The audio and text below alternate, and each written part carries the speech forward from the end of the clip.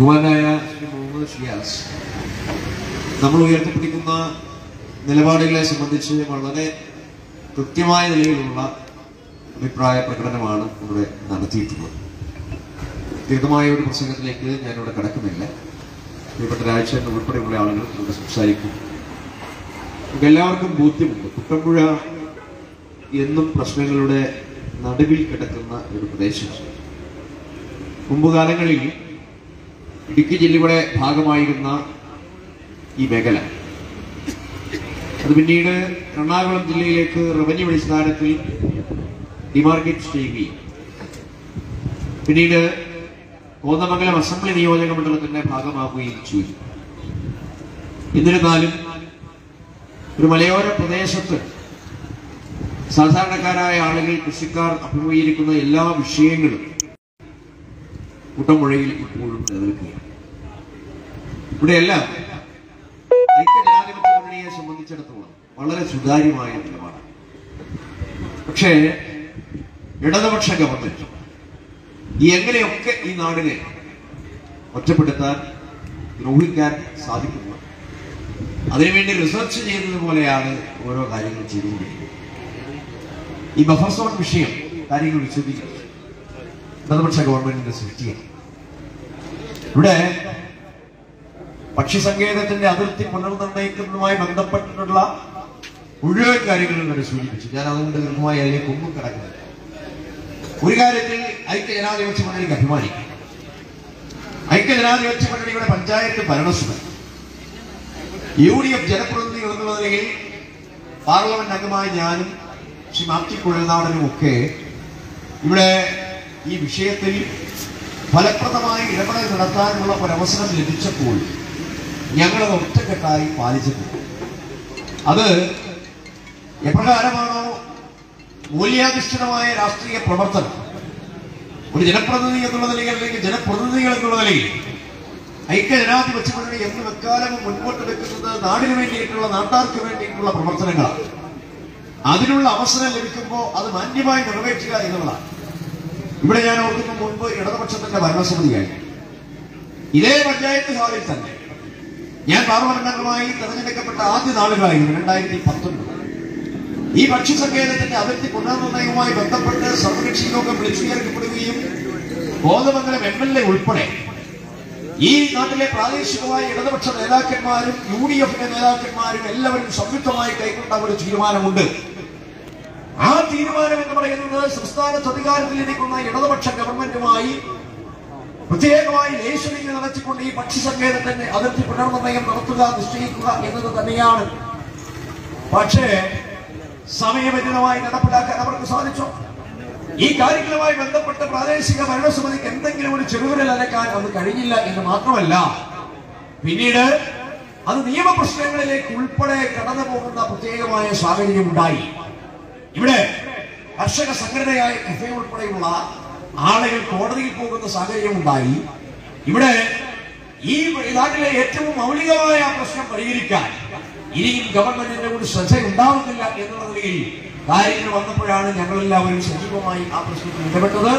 ബഹുമാനപ്പെട്ട വനംവകുപ്പ് മന്ത്രിയുടെ മുൻപാകെ ആ പ്രശ്നം അവതരിപ്പിച്ചതും അതിന് സംസ്ഥാന ഗവൺമെന്റിന്റെ ഭാഗത്തു നിന്നും അതിനൊരു പരിഹാരം ഉണ്ടാകുന്നതിന് വേണ്ടിയിട്ടുള്ള മധ്യഭാഗം ഇപ്പോൾ കടന്നിരിക്കുന്ന നിലയിലേക്ക് എത്തിയത്.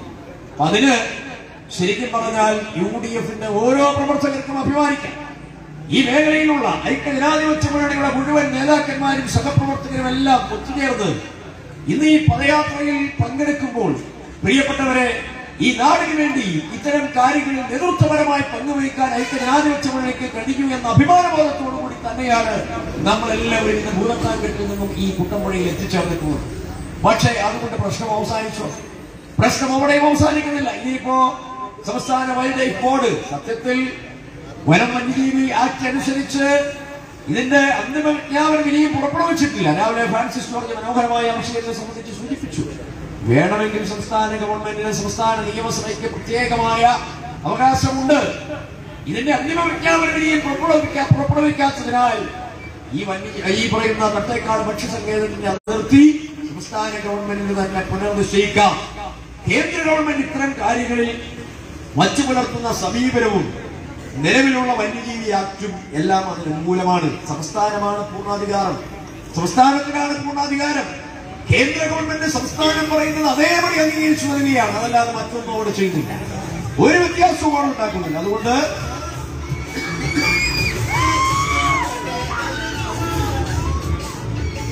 അതുകൊണ്ട് സംസ്ഥാന ഗവൺമെന്റ് വരുത്തി വെക്കുന്ന വീഴ്ചകളല്ലാതെ ഈ കാര്യത്തിൽ മറ്റൊന്നും നമുക്കിവിടെ കാണാൻ കഴിയുന്നില്ല. സംസ്ഥാന ഗവൺമെന്റിന് മുന്നേ തന്നെ അതിന്റെ അതിർത്തി പുനർനിർണയിച്ച് വിജ്ഞാപനം ഇറക്കാം അല്ലെങ്കിൽ കേന്ദ്രത്തിന് ശുപാർശ ചെയ്യാം. അതേ സ്വാതന്ത്ര്യം ഉപയോഗപ്പെടുത്തിക്കൊണ്ട് മറ്റു സംസ്ഥാനങ്ങൾ ഗുജറാത്തിൽ ഉൾപ്പെടെ അത് ചെയ്തിട്ടുണ്ട്. അങ്ങനെ ഒരു കീഴ്വഴക്കം നമ്മുടെ നാട്ടിലുണ്ട്. അപ്പൊ ആ നിലയിൽ സംസ്ഥാന ഗവൺമെന്റിന് ഈ കാര്യത്തിലും പരിഹാരം ഉണ്ടാക്കാമെന്നിരിക്കെ ഏതായാലും ഈ തരത്തിലുള്ള ഒരു ആശ്വാസ നടപടിയെങ്കിലും ചെയ്തത് നന്നായി എന്ന് മാത്രമേ ഞാൻ ഈ അവസരത്തിൽ സൂചിപ്പിക്കുന്നുള്ളൂ. പക്ഷേ അതിന്റെ ക്രെഡിറ്റ് അടിച്ചു മാറ്റാൻ ഇപ്പോൾ നടത്തുന്ന ഈ വ്യായാമം അതൊരു തരംതാണ രാഷ്ട്രീയ പ്രവർത്തനം മാത്രമാണ്. ഇവിടെ അതുകൊണ്ട് മാത്രം പ്രശ്നം അവസാനിക്കുന്നില്ല. അങ്ങനെ പ്രശ്നം അവസാനിപ്പിക്കാൻ ശ്രമിച്ചാൽ പിന്നെ ബഫർ സോൺ എവിടെ നിൽക്കും? ബഫർ സോൺ എന്ന് പറയുന്നത് നയപരമായ ഇടതുപക്ഷ ജനാധിപത്യ മുന്നണിയുടെ തീരുമാനം എന്താ ഒരു കിലോമീറ്റർ ജനവാസ കേന്ദ്രങ്ങൾ ഉൾപ്പെടെ അതിന് എത്ര നിഷേധിക്കാൻ ശ്രമിച്ചാലും ഇനി ഏതെല്ലാം തരത്തിൽ അത് മായ്ച്ചു കളയാൻ ശ്രമിച്ചാലും രണ്ടായിരത്തി പത്തൊൻപത് ഒക്ടോബർ മാസം മുപ്പത്തി ഒന്നാം തീയതി ഈ ഗവൺമെന്റ് പുറപ്പെടുവിച്ച പ്രത്യേകമായ ഉത്തരവിൽ നിങ്ങളുടെ തീരുമാനങ്ങൾ നിങ്ങളുടെ നയപ്രഖ്യാപനം അത് പൂർണമായിട്ടുണ്ട്. ഇടതുപക്ഷ നേതാക്കന്മാർ അതിനെ മറച്ചു വെച്ചുകൊണ്ട് പൂജ്യം മുതൽ പത്ത് കിലോമീറ്റർ വരെ ജയറാം രമേശ് പൂജ്യം മുതൽ പന്ത്രണ്ട് കിലോമീറ്റർ വരെ വി സതീശൻ എന്നൊക്കെ പറഞ്ഞ് എന്തെല്ലാം ദുർവ്യാഖ്യാനങ്ങളാണ് നടത്തുന്നത്. കേന്ദ്ര ഗവൺമെന്റ് ഒരു ഗൈഡ് ലൈൻ പറഞ്ഞിട്ടുണ്ട്. ആ ഗൈഡ് ലൈൻ എന്താ? പൂജ്യം മുതൽ പത്ത് കിലോമീറ്റർ വരെ ശരിയായിക്കോട്ടെ. പൂജ്യം മുതൽ പത്ത് കിലോമീറ്റർ വരെ എന്ന് പറഞ്ഞാൽ പൂജ്യവും തീരുമാനിക്കാം സംസ്ഥാന ഗവൺമെന്റിന്.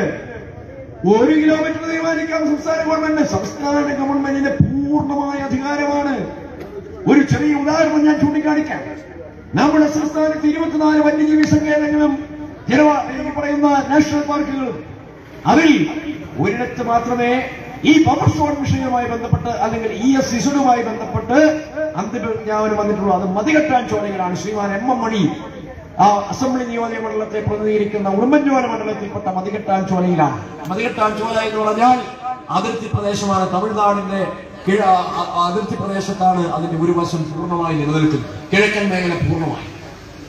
ബാക്കി ഭാഗങ്ങളാണ് കേരളത്തിലുള്ളത് ഈ മതിലെട്ടാൻ ചോലയിൽ ഇപ്പോ നമ്മുടെ തട്ടേക്കാടിന് വന്നതുപോലെ തന്നെ ഇടതുപക്ഷ ഗവൺമെന്റ് രണ്ടായിരത്തി പത്തൊൻപത് ഒക്ടോബർ മുപ്പത്തി ഒന്നിന്റെ തീരുമാനം അനുസരിച്ച് മുൻ യു ഡി എഫ് ഗവൺമെന്റ് എടുത്ത തീരുമാനം തിരുത്തി ഒരു കിലോമീറ്റർ ബഫർ സോൺ എന്നുള്ള തീരുമാനം നയപരമായി കൈക്കൊണ്ട് ഈ പറയുന്ന ഇരുപത്തിനാല് കേന്ദ്രങ്ങളിലും ജനവാസ കേന്ദ്രങ്ങളെ ഉൾക്കൊള്ളിച്ച് കേന്ദ്രത്തിന് റിപ്പോർട്ട് നൽകി. കരട് വിജ്ഞാപനം ഇറക്കാൻ അങ്ങനെ കരട് വിജ്ഞാപനം പ്രസിദ്ധീകരിച്ചപ്പോ മതികെട്ടാൻ ചോലയുടെ കരട് വിജ്ഞാപനത്തിൽ ഒരു വശത്ത് ഒരു കിലോമീറ്റർ മറുവശത്ത് പൂജ്യം. അതെങ്ങനെ സംഭവിക്കും? ഒരു വശത്ത് ഒരു കിലോമീറ്റർ അത് കേരളം. മറുവശത്ത് പൂജ്യം അത് തമിഴ്നാട്. തമിഴ്നാടിന്റെ ഭാഗത്ത് പൂജ്യം കേരളത്തിന്റെ ഭാഗത്ത് ഒരു കിലോമീറ്റർ. എന്നിട്ടോ ഈ കരട് വിജ്ഞാപനങ്ങൾ പുറപ്പെടുവിച്ചു കഴിഞ്ഞാൽ പിന്നീട് കേന്ദ്ര ഗവൺമെന്റ് ആ ഒരു നിശ്ചിത പരിധി കഴിഞ്ഞാൽ അന്തിമ വിജ്ഞാപനം ഇറക്കാം. അന്തിമ വിജ്ഞാപനം ഇറക്കാം. തമിഴ്നാട് കേന്ദ്ര ഗവൺമെന്റിന് മുൻപിൽ അമിതമായ സ്വാധീനം ചെലുത്തി അമിതമായ എന്ന് പറയുമ്പോൾ അവരുടെ സംസ്ഥാനത്തെ ബന്ധപ്പെടുന്ന കാര്യമാണ്. അവർ കേന്ദ്ര ഗവൺമെന്റ് മുൻപിൽ ചെന്ന് പറഞ്ഞു ഞങ്ങൾ പൂജ്യം നിർദ്ദേശിച്ചിട്ടുണ്ട് ആ പ്രശ്നം ശാസ്ത്രമായി പരിഹരിക്കണം. അതുകൊണ്ട് അവിടെ അന്തിമ വിജ്ഞാപനം ഇറക്കണമെന്ന് തമിഴ്നാട് ഗവൺമെന്റ് ഒഫീഷ്യലായി കേന്ദ്ര വനം പരിസ്ഥിതി മന്ത്രാലയത്തിന് കത്തയച്ചത് മുഖേന ഈ മതികെട്ടാൻ ചോലയിൽ അന്തിമ വിജ്ഞാപനം പുറപ്പെടുവിച്ചിട്ടുണ്ട്. രണ്ടായിരത്തി ഇരുപത്തി ഒന്നിൽ അപ്പോ രണ്ടായിരത്തി ഇരുപത്തി ഒന്നിൽ അന്തിമ വിജ്ഞാപനം പുറപ്പെടുവിച്ച മതികെട്ടാൻ ചോലയിൽ ഒരു വശത്ത് പൂജ്യവും ഒരു വശത്ത് ഒരു കിലോമീറ്റർ അപ്പൊ അത് ആരുടെ കഴിവുകേടാ? സംസ്ഥാന ഗവൺമെന്റിന്റെ പൂർണ അധികാരം ഉപയോഗപ്പെടുത്തി തമിഴ്നാട് സീറോയാക്കി ഇന്ത്യയിലെ മറ്റ് സംസ്ഥാനങ്ങൾ പൂജ്യമാക്കി. പക്ഷെ കേരളത്തിൽ മാത്രം പൂജ്യമില്ല. പിന്നെ എന്തിനാണ് കേന്ദ്ര ഗവൺമെന്റ് പണി പറയുന്നത്? കേന്ദ്ര ഗവൺമെന്റ് അത് ഏത് ഗവൺമെന്റ് ഭരിച്ചാലും അവരുടെ ഗൈഡ് ലൈൻ പൂജ്യം മുതൽ പത്ത് കിലോമീറ്റർ വരെ എന്ന് വെച്ചാൽ സംസ്ഥാന ഗവൺമെന്റിന്റെ പൂജ്യം തീരുമാനിക്കാം. സംസ്ഥാന ഗവൺമെന്റിന് വേണമെങ്കിൽ ഇത് വേണ്ടെന്ന് വെക്കാം. ഈ പറയുന്ന വന്യജീവി സങ്കേതങ്ങൾ പൂർണമായി വേണ്ടെന്ന് വെക്കാം. അത് കേന്ദ്രം അംഗീകരിക്കും. ഇതല്ല സത്യമെന്ന് തെളിയിക്കാൻ ഇടതുപക്ഷ മുന്നണിയെ ഞാൻ വെല്ലുവിളിക്കുന്നു. ഏതൊരാൾക്കും അത് അത് തെളിയിക്കാനുള്ള അവസരമുണ്ട്. പക്ഷേ ഇതൊന്നും ഈ നാട്ടിൽ ഇപ്പോൾ ചെലവാകുന്ന ഒരു കാര്യമല്ല. ഇവിടെ ശരിക്കും പറഞ്ഞാൽ എത്രമാത്രം ക്രൂരമായ ഒരു സമീപനമാണ് ഇവർ സ്വീകരിച്ചത്? ഇവിടെ നമ്മൾ ഓർക്കുന്നുണ്ട് പശ്ചിമഘട്ട വനമേഖലകളെ പൂർണമായി ബന്ധിപ്പിക്കുന്ന കസ്തൂരി രംഗൻ റിപ്പോർട്ടിന്റെ കാലഘട്ടത്തിൽ അന്ന് യു പി എ ഗവൺമെന്റ് കേന്ദ്രത്തിലും സംസ്ഥാനത്ത് ഐക്യജനാധിപത്യ മുന്നണി ഗവൺമെന്റും അധികാരത്തിൽ ഇരിക്കുകയാണ് അപ്പോ ജനവാസ കേന്ദ്രങ്ങളും കൃഷിസ്ഥലങ്ങളും തോട്ടങ്ങളും കസ്തൂരി രംഗൻ റിപ്പോർട്ടിന്റെ അടിസ്ഥാനത്തിൽ ഏതാണ്ട് പതിമൂവായിരത്തി ഒരുന്നൂറ്റി പതിമൂന്ന് സ്ക്വയർ കിലോമീറ്റർ കേരളത്തിലാകെ ജനവാസ കേന്ദ്രങ്ങളും കൃഷിസ്ഥലങ്ങളും ഉൾപ്പെടെ നൂറ്റി ഇരുപത്തി മൂന്ന് വില്ലേജുകളിൽ ഉണ്ട് എന്നുള്ള തരത്തിലാണ് ആ റിപ്പോർട്ട് സമർപ്പിക്കപ്പെട്ടത് അപ്പോ കേന്ദ്ര ഗവൺമെന്റിൽ യു ഡി എഫ് ഗവൺമെന്റ് പ്രത്യേകമായ സ്വാധീനം ചെലുത്തി. Oommen V Oommen committee report മുഖാന്തരം മൂവായിരത്തി ഒരുന്നൂറ്റി പതിമൂന്ന് സ്ക്വയർ കിലോമീറ്റർ ഭാഗം ജനവാസ കേന്ദ്രങ്ങളെയും കൃഷി സ്ഥലങ്ങളെയും ഒഴിവാക്കി. എന്നിട്ട് ഒൻപതിനായിരത്തി തൊള്ളായിരത്തി തൊണ്ണൂറ്റി ഒൻപത് പോയിന്റ് മൂന്ന് സ്ക്വയർ കിലോമീറ്റർ ഭാഗം മാത്രമാക്കി ഇ എസ് ഐ ആക്കി പരിസ്ഥിതി ലോല മേഖലയാക്കി. കൃത്യമായി നിശ്ചയിച്ച് ഡിമാർക്കേറ്റ് ചെയ്ത് കേന്ദ്രത്തിന് റിപ്പോർട്ട് കൊടുക്കുകയും അതിന്റെ അടിസ്ഥാനത്തിലാണ് അവിടെ ഒന്നാമത്തെ ഡ്രാഫ്റ്റ് നോട്ടിഫിക്കേഷൻ രണ്ടായിരത്തി പതിനാല് മാർച്ച് മാസം പത്താം തീയതി പുറപ്പെടുവിച്ചത്. ഇവിടെ ഈ കാര്യത്തിൽ എന്താ ചെയ്തു ഈ ബഫർ സോൺ വിഷയത്തിൽ മുൻ യു ഡി എഫ് ഗവൺമെന്റ് പൂജ്യം എന്നെടുത്ത തീരുമാനം നയപരമായ തീരുമാനം രണ്ടായിരത്തി പത്തൊൻപതിൽ അത് മാറ്റുന്നു. ഒരു കിലോമീറ്റർ ജനവാസ കേന്ദ്രങ്ങൾ ഉൾപ്പെടെ എന്ന് നയപരമായി ക്യാബിനറ്റിൽ തന്നെ തീരുമാനിക്കുന്നു. ശ്രീമാൻ എം എം മണി ഉൾപ്പെടെയുള്ള ഇടതുപക്ഷ നേതാക്കന്മാർ എന്ത് ക്രൂരതയാണ് സ്വന്തം നാട്ടുകാരോട് ഉൾപ്പെടെ ചെയ്തത് കാരണം ഇടുക്കി ജില്ലയിൽ അദ്ദേഹത്തിന്റെ മണ്ഡലത്തിൽ ഉൾപ്പെടെ ഏതാണ്ട് എട്ട് വന്യജീവി സങ്കേതങ്ങൾ നാഷണൽ പാർക്കുകൾ ആ ജില്ലയിലുടനീളം ഈ തത്തേക്കാട് പക്ഷി സങ്കേതം ഉൾപ്പെടെ ഇടുക്കി പാർലമെന്റ് മണ്ഡലത്തിൽ ഒൻപതെണ്ണമാണ്.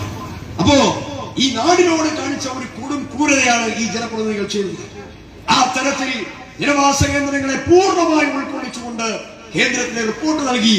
അവസാനം സുപ്രീം കോടതിയിൽ മറ്റൊരു കേസിന്റെ പരിഗണനാ വേളയിൽ ഈ പ്രശ്നത്തെ അവർ ഈ വിധത്തിൽ കൈകാര്യം ചെയ്യുകയുമായിരുന്നു. കാരണം ഒരു സംസ്ഥാന ഗവൺമെന്റ് തന്നെ ജനവാസ കേന്ദ്രങ്ങളെ പൂർണമായി ബഫർ സോണിൽ ഉൾപ്പെടുത്താൻ വേണ്ടി ക്യാബിനറ്റിനോട്ട് തയ്യാറാക്കി അല്ലെങ്കിൽ പ്രത്യേകമായി ഉത്തരവിറക്കി കേന്ദ്ര ഗവൺമെന്റിന് സമ്മതം അറിയിച്ചാൽ പിന്നെ സുപ്രീം കോടതി പിന്നെ എന്ത് ചെയ്യാനാണ് സുപ്രീം കോടതിയെ പിന്നെ എന്തിനാണ് പഠിക്കുന്നത് സുപ്രീം കോടതി പിന്നെയും ആനുകൂല്യം ചെയ്തു എന്ന് വേണമെങ്കിൽ പറയാം കാരണം സുപ്രീം കോടതി ഇപ്പോഴും പറയുന്നുണ്ട് ഇളവാകാം അത് തെളിയിച്ചാൽ മതി.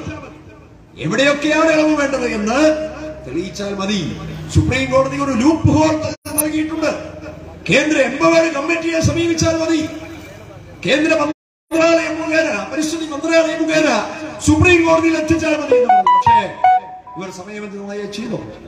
സമയബന്ധിതമായി ചെയ്തില്ല എന്ന് മാത്രമല്ല ഇവർ ജനങ്ങളിൽ നിന്നും ആ റിപ്പോർട്ട് ഒളിച്ചു വെച്ചു എന്നുള്ളതാണ്. എങ്ങനെ ഒരു ജനാധിപത്യ ഗവൺമെന്റിന് എങ്ങനെ പ്രവർത്തിക്കാൻ കഴിയും? എങ്ങനെ പ്രവർത്തിക്കാൻ കഴിയും? അവിടെയാണ് ഇടതുപക്ഷ മുന്നണിയുടെ ഗൂഢലക്ഷ്യങ്ങൾ. ഇത്ര ഹീനമായ പ്രവർത്തി ഞാൻ ചോദിക്കട്ടെ ഈ കുട്ടമ്പുഴ പഞ്ചായത്തിലുള്ള വന്യമൃഗങ്ങളെ കാണാതെ സഞ്ചരിച്ചിട്ടുള്ള ഏതെങ്കിലും ഒരാൾ ഉണ്ടോ? ഇവിടെ ഇത്രയും വിസ്തൃതമായ ഒരു പഞ്ചായത്ത് എവിടെ ചെന്നാലും വന്യമൃഗങ്ങൾ. കാട്ടാനയും കാട്ടുപോത്തും കടുവയും പുലിയും കാട്ടുപന്നിയും എന്ന് വേണ്ട കരിമുരങ്ങൾ ഉൾപ്പെടെയുള്ള ഈ വന്യമൃഗങ്ങളുടെ ശല്യത്തിന്റെ പേരിൽ കൃഷി ചെയ്യാൻ പറ്റാതെ സ്വന്തം വസ്തുവകകൾ സംരക്ഷിക്കാൻ കഴിയാതെ നാട് വിട്ട് കിട്ടുന്ന കാശിന് ഇവിടുത്തെ സമ്പാദ്യം പൂർണമായി ഇവിടെ ഉപേക്ഷിച്ച് അപ്പനപ്പൂപ്പന്മാരുടെ കാലഘട്ടം മുതൽ പൂർവ പിതാക്കന്മാരുടെ കാലഘട്ടം മുതൽ സമ്പാദിച്ചതെല്ലാം വിട്ടുപേക്ഷിച്ചു പോയിട്ടുള്ള നൂറുകണക്കിന് ആളുകളെ നമ്മുടെ ഈ നാട്ടിൽ കാണാൻ കഴിയില്ല. എത്രയോ ആളുകൾ ഈ നാട്ടിൽ നിന്ന് പലായനം ചെയ്തിരിക്കുന്നു. ഇവിടെ ജനാധിപത്യമാണോ മറിച്ച് മൃഗാധിപത്യമാണോ എന്ന് സംശയം തോന്നിപ്പിക്കുന്ന വിധത്തിലായില്ലേ കാര്യങ്ങൾ? മൃഗങ്ങൾ വാഴ്ച നടത്തുന്നു മൃഗവാഴ്ചയാണ് ഈ നാട്ടിൽ. ഇവിടെ മൃഗങ്ങളുടെ സൈന്യവിഹാരം വിഹാരം അത് യഥേഷ്ടം തുടർന്നുകൊണ്ടിരിക്കുമ്പോഴും നോക്കുകുത്തിയായി നിൽക്കുന്ന ഫോറസ്റ്റ് ഡിപ്പാർട്ട്മെന്റ് എവിടെയെങ്കിലും ഇവിടെ ബഹുദശിയാസിനോട് സൂചിപ്പിച്ചു എവിടെയെങ്കിലും ഈ ഫോറസ്റ്റ് ഉദ്യോഗസ്ഥന്മാർ ജനങ്ങളുടെ ജീവിതം സുരക്ഷിതമാക്കാൻ ഒരു ചെറിയ ഇടപെടൽ നടത്തിയിട്ടുണ്ടോ? നടത്തിയിട്ടില്ല എന്ന് മാത്രമല്ല ഒരു പൈസയുടെ ആനുകൂല്യം ഈ കാര്യവുമായി ബന്ധപ്പെട്ട് ഈ നാടിനെ സംരക്ഷിക്കേണ്ട ബാധ്യതയില്ലേ ഈ ഗവൺമെന്റിന് ഇവിടെ വനത്തിൽ ജീവിക്കുന്ന മൃഗങ്ങൾക്ക് വേണ്ടി പ്രത്യേകമായ നിയമമുണ്ട്. ആകട്ടെ അത് വനത്തിനുള്ളിൽ നിൽക്കണം.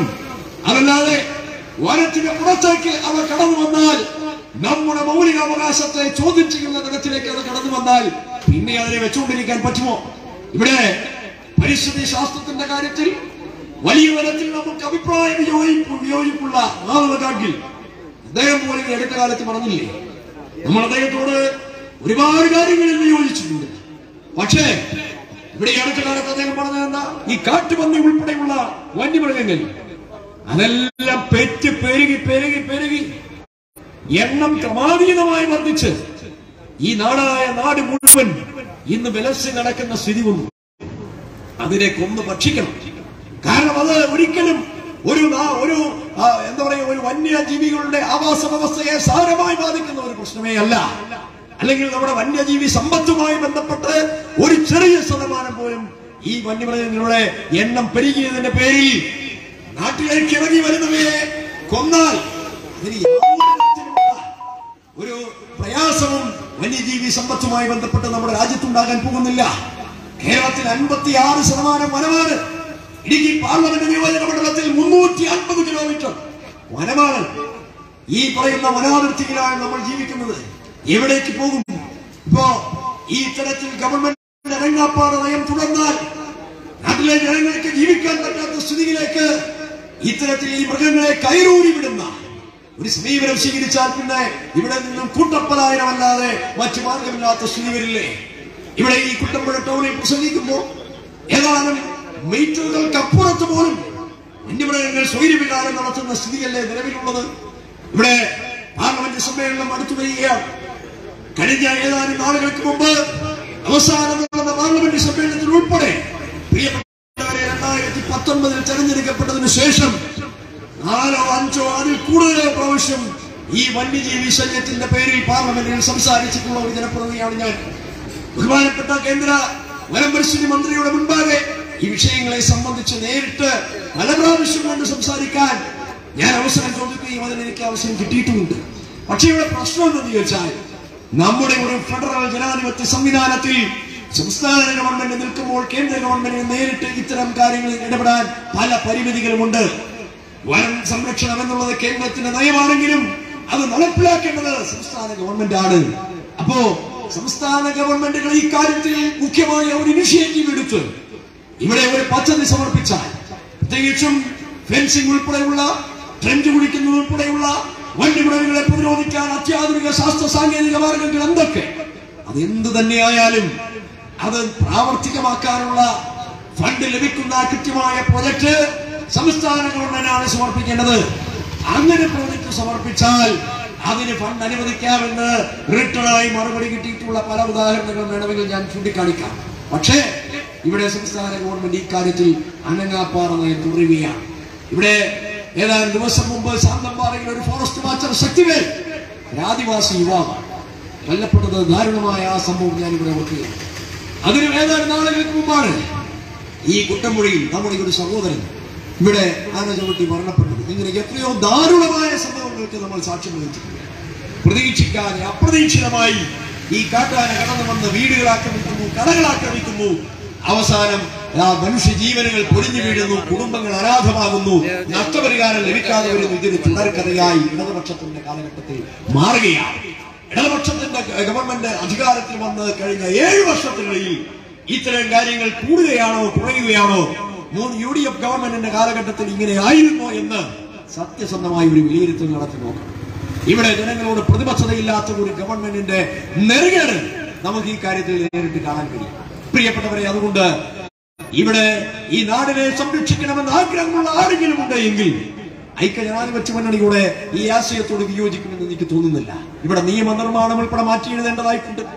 എളിയവനായി ഞാൻ ഈ പാർലമെന്റ് സമ്മേളനത്തിൽ ഒരു പ്രൈവറ്റ് ബില്ല് ഈ കാര്യവുമായി ബന്ധപ്പെട്ട് ഒരു അവിടെ പ്രസന്റ് ചെയ്യുന്നുണ്ട്. പ്രൈവറ്റ് ബില്ല് എന്ന് പറഞ്ഞാൽ അംഗങ്ങളുടെ പ്രത്യേകമായിട്ടുള്ള അധികാരം ഉപയോഗിച്ച് ഗവൺമെന്റിന്റെ ശ്രദ്ധയിലേക്ക് ഒരു നിയമനിർമ്മാണത്തിന് വേണ്ടി നമ്മൾ സമർപ്പിക്കുന്നതാണ്. അങ്ങനെ സമർപ്പിക്കുന്ന ആ പ്രളയ ബില്ലിൽ വന്യജീവി ആക്ട്